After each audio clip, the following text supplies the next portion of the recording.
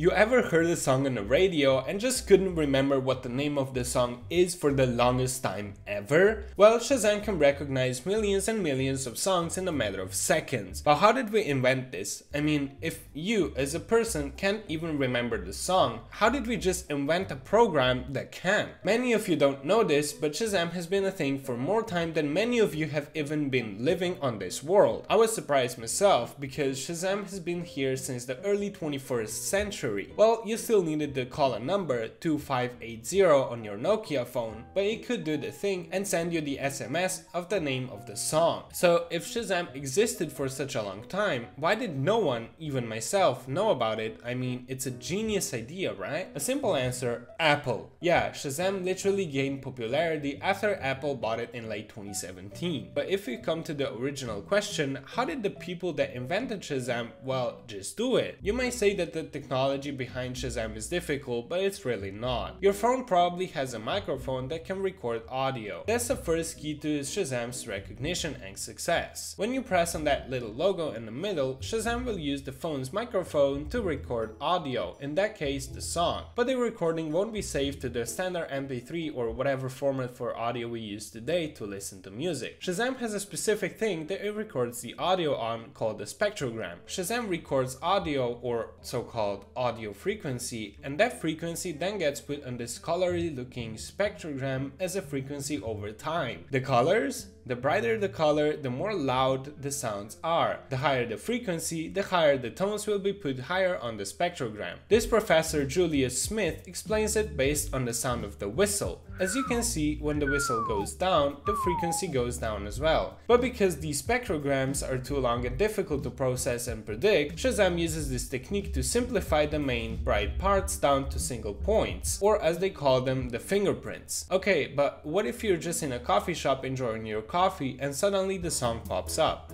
Obviously, if you Shazam it, Shazam will also pick the meaningless sounds to the music like the outside noise or the coffee machine maker or the other people talking. But because Shazam isn't human, it won't be able to differentiate these sounds from the song so it's gonna pick all of the recorded sounds and record it on the spectrogram. This is also why if you have too much noise as your background, Shazam won't be able to recognize the song simply because there's just too many meaningless dots. Then, as I mentioned earlier, the spectrogram will convert these bright sounds down to single dots to make it simpler to recognize a song. Okay, so now what? What does Shazam do with these recorded dots or called fingerprints. Well, it then basically tries to match these dots in a time sequence with all of the other existing songs it has in its storage. But again, there are like millions of songs in its storage, so it would take forever to find the right sequence of the song, right? That's why Shazam uses the thing called the hash database to match the fingerprints with the right song. The hash database is a library of the songs, or to make it simpler, the books stored in the library. To make it short, each book in this case is stored with the other books by the similarities these books have. Then those books will be marked with the letter under a single group, for example all of the books that start with the word